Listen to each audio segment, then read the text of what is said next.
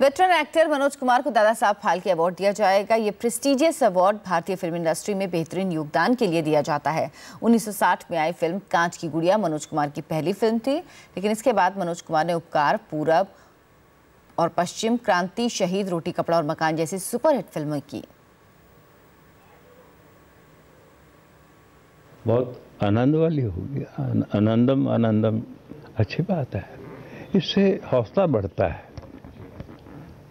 इससे हौसला बढ़ता है।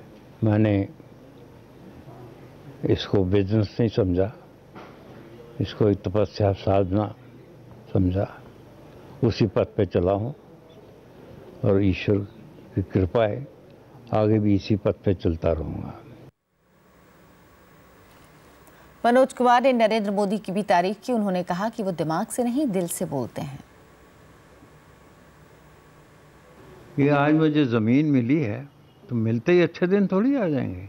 सफ़ाई करूँगा, क्यारी बनाऊँगा, हल चलाऊँगा, बीज बोऊँगा, फ़सल आएगी, अंगूर आएँगे, फ़सल बड़ी होगी, काटूँगा, बाज़ार में जाएगी तो अच्छे दिन आएँगे। वक्त तो लगेगा। इतने तो इतने तो उनको चांस देना चाहिए।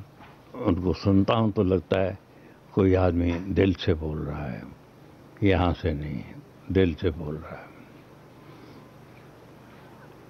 जो लाल किले पे खड़ा होकर कह सकता है कि भारत को सफ़ाई कर, साफ़ रखना है।